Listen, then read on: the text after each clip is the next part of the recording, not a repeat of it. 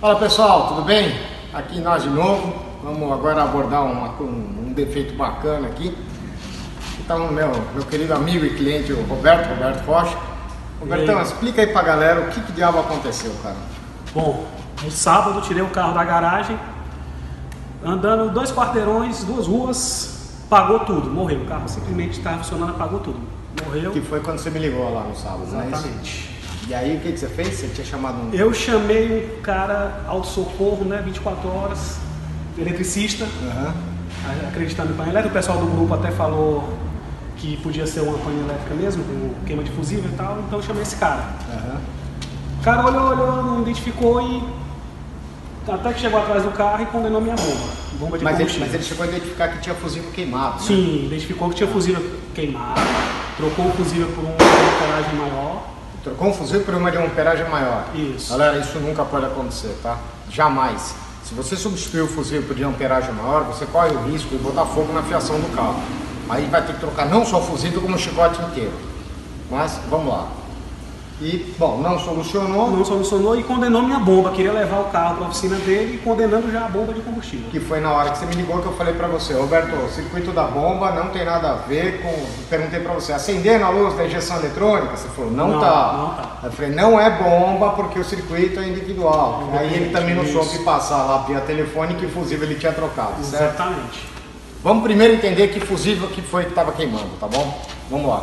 Debaixo aqui do, do assoalho, né? Debaixo do.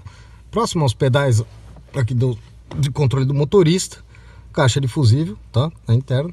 A gente identificou que esse fusível aqui, de 15 amperes, tá? Que segundo a tabela aqui, não sei se o celular vai ser capaz de focar, seria esse aqui, ó, 15 ampe- é, de 15 amperes de ignition coil, tá? O IG é ignition, que é ignição, tá bom? E coil é bobina, tá bom? É, vamos entender por que, que tem tantos, por que, que tem tantos ignitions e, e, e e não e esse fusível de ignition coil ele não é só para bobina e ignição, quer dizer, na verdade, o que que abrange esse negócio da ignição, tá bom?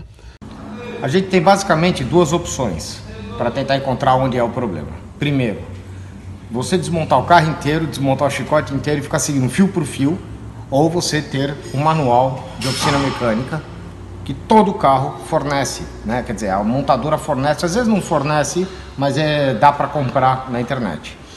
Eu estou aqui com o sistema nosso. Como a gente estava tendo a queima de apenas um fusível, era importante eu vir aqui no sistema de Cap and Access- Accessories e a gente vai estudar aqui esse Power Supply Diagram, tá bom? Para a gente saber exatamente onde que ah, qual que é o caminho e quais são os itens que são correspondentes. O número 39, tá? É o fusível.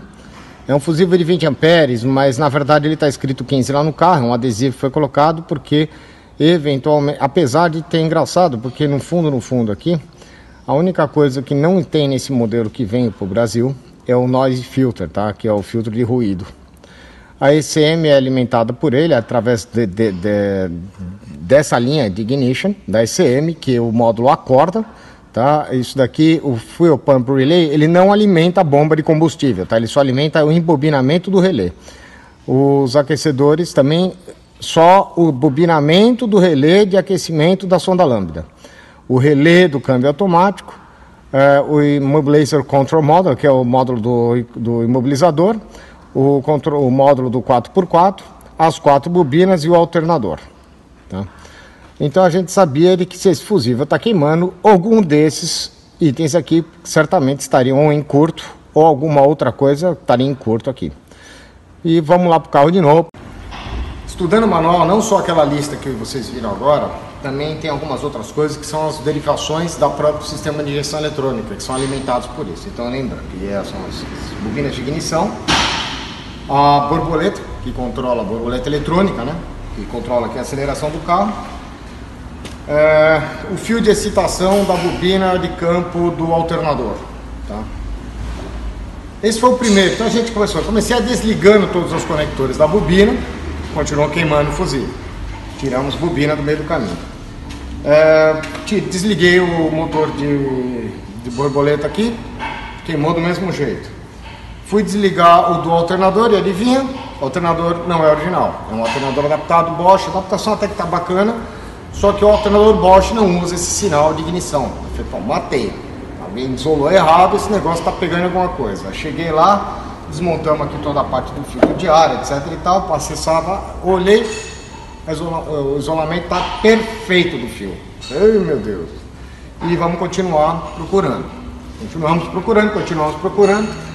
E eis que chegamos nesse nível aqui de bagunça. Olha só. E o, o sinal que chega para acordar o módulo aqui no conector principal. E adivinha? Parou de vir tensão de novo. O módulo estava morto e a luz da injeção eletrônica de novo não acendia. Desconectei tudo de novo, pusemos, trocamos mais uma vez o fusível, deu ignição com tudo desconectado e o fusível queimou de novo. O que, que fica claro? Que bastou mexer aqui, dependendo da posição que estavam os fios, queimava. Então a gente já sabia de que o problema estaria entre essa caixa de fusível e a caixa de fusível interna. Lembrando que o sistema de Ignition 1, né, o sistema de ignição 1, porque tem o Ignition 2 também, na verdade é como se fosse duas chaves contatoras que trabalham sincronizadas para distribuir a carga total tá, da, da, alimentação de tantos acessórios dos carros. Isso é muito comum hoje nos carros mais modernos. Desmontamos tudo isso daqui e fizemos o teste da seguinte maneira: paramos de trocar fusíveis, fizemos a conexão do multímetro na condição de na condição de resistência, medindo resistência e fomos mexendo no chicote até enxergar que se havia ou não variação de resistência. Quanto menor a resistência, queimaria o fusível. Se fosse maior a resistência, não queimaria. Bom, enfim, é, com o multímetro ligado na, na, na condição de resistência, quando eu puxava o chicote, a resistência subia para 200 ohms, que é uma coisa mais normal. Quando eu empurrava o chicote para baixo, dava 10. 10 ohms é o suficiente para passar a corrente superior à amperagem de 15, a corrente de 15 amperes e queimava o fusível. Então, vamos procurar problema aqui. Foi por isso que começamos a desmontar tudo isso. É a primeira vez na minha vida que eu estou tendo que fazer isso. Achamos o problema. Agora eu vou botar uma luz aqui e mostrar para vocês qual o problema de ratos. Vamos ver. Aqui então vem o chicote de um lado, vem o chicote do outro, vem o chicote tudo quanto é lado. Aqui embaixo, lá embaixo, lá perto do. Atrás ali do hidrovácuo, ele faz uma curva, o que sai da caixa, para entrar logo aqui, ó, nessa, nessa junção que vai para dentro do carro, tá bom? É, eu suspeitei que pudesse ter algum tipo de problema naquela curvatura ali, mas foi por pura intuição, tá?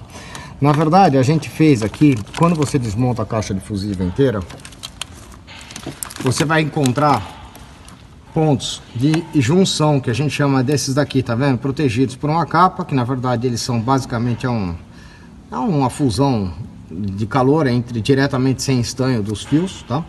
O nosso circuito era esse daqui, então tem um fio maior, tá? mais grosso que eu estou falando, é preto com risco branco, que é o proveniente da ignição 1, que vem lá daquele fusível. E aí ele faz a distribuição aqui para relé da bomba, para relé do, do, do, automático, é, para acionar o módulo, é, relé, bom, eu não lembro mais agora cada um deles, mas é é aqui onde é feita a ramificação. E a gente identificou de que o grosso aqui, soltando, desconectando todas as conexões, do, das ramificações, ele continuou queimando, então eu parti do princípio que pudesse ser esse grosso. O fato de ter dado uma simples extensão para verificar se ele vinha, ele vinha realmente dessa parte de baixo e ela para dentro. Bastou puxar ele um pouco, não deu mais problema. Aí falei, pô, deve ser lá mesmo na curva. Removemos ali a curva. E aqui vamos ver se dá tempo de... Aqui, vamos ver se vocês conseguem enxergar. Dê uma olhada nisso daqui.